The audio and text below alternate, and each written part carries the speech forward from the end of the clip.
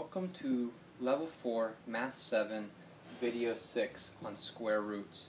Today we're going to be talking about how we find the root of a number that has already been multiplied, so already been squared. One of the signs that we really need to make sure that we understand is what's called the radical, this sign here. You'll see that all of these different problems have that radical around a number, or in this case, a couple numbers, so uh, a fraction. This radical sign is no different than an operation symbol like multiply or divide or subtract or add. It tells us that there's an operation to be um, performed.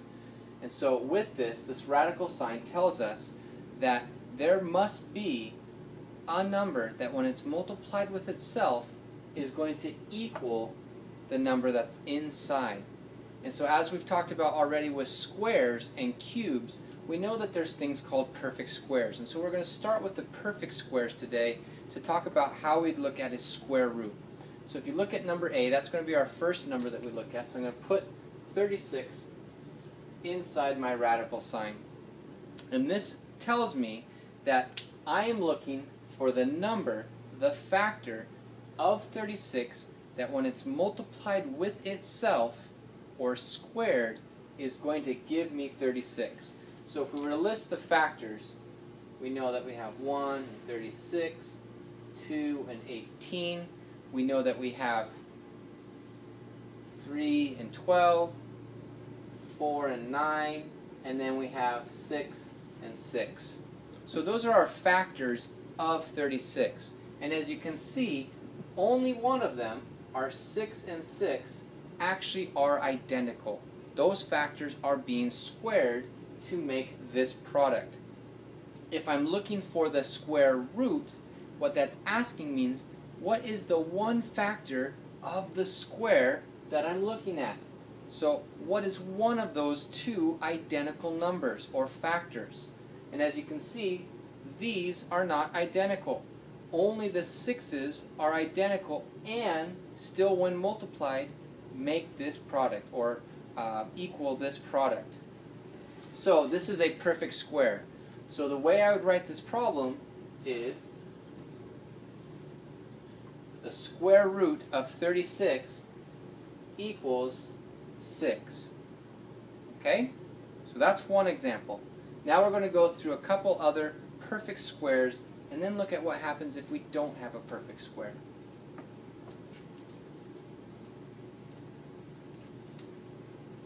The second one we're going to look at, b, the square root of 9. 9 is a perfect square. So if you think back to our list of perfect squares, what did we have to square? What number did we have to square to equal that product? If you think about it, you could even pause the video right now and take a look at that table that we created during that video and during that lecture on what our perfect squares were. What were those factors that when squared come up with a perfect product? So the whole number squares. If you pause the video, now you have a chance to take a look. If you didn't pause the video, I'm going to move forward with the fact that our perfect square would have to be 3 times 3. That is the only factor that can be multiplied with itself to equal this product. So the answer of what is the square root of 9 is 3. Well, what if they aren't perfect squares?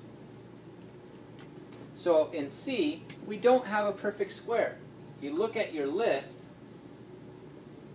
you'll see that that's not on our list of perfect squares. Even if you go all the way out to 13 or 14 squared, 15 squared, that's not on our list. There's numbers close to it, but they're not exactly equal to 150. This is still asking us the same question. What is the factor that when multiplied with itself is going to equal 150? Because it's not a perfect square, that's going to be a decimal. And that can get kind of tricky. So instead, we're going to round. We're going to estimate which one's closest. So again, if you look at your list, you're going to see that there's some just below it and just above it. So if you look at your list, you're going to see that 144 is a perfect square right below this number of 150.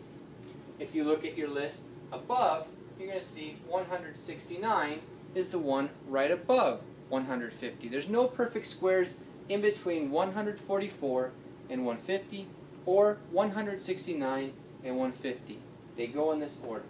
Okay, so if I take the square root of these perfect squares, I'm going to get a whole number because they're perfect squares. What we need to determine for our rounding purposes or estimation purposes is which one of these numbers that is a perfect square is closest to 150. Okay? Take a moment and think about that.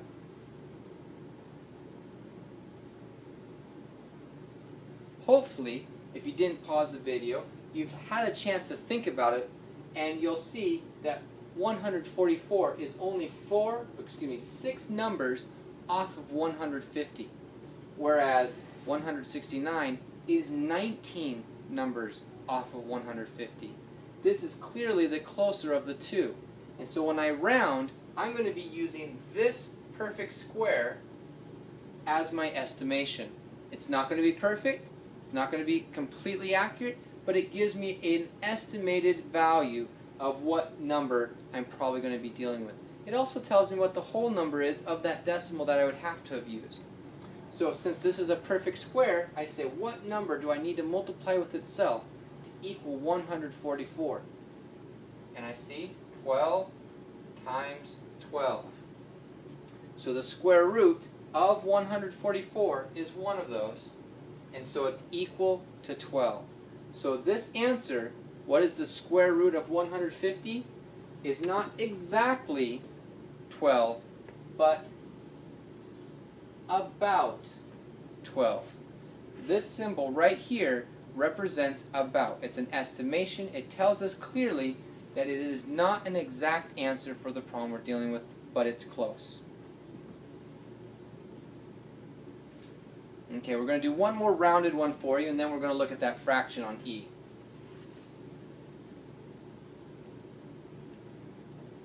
So the next one we have,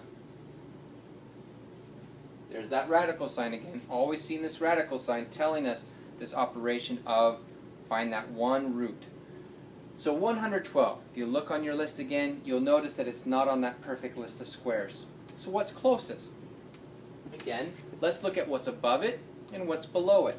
Directly below, we have the square root of the perfect square, 100.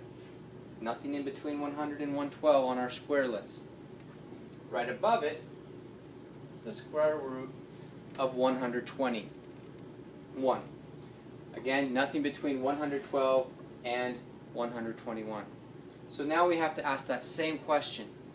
Which of those perfect squares is closest to what we're looking at? That's going to determine which one we round to. So between 100 and 112, we have a difference of 12 between 112 and 121, we have a difference of 9. So therefore, this is our closest perfect square. If we look at our list, we see that the factors of that square that are identical are 11 times 11. Clearly telling us that the one factor that would need to be squared is 11. And so our answer, again, using those about signs, is about 11. Not exact, but about.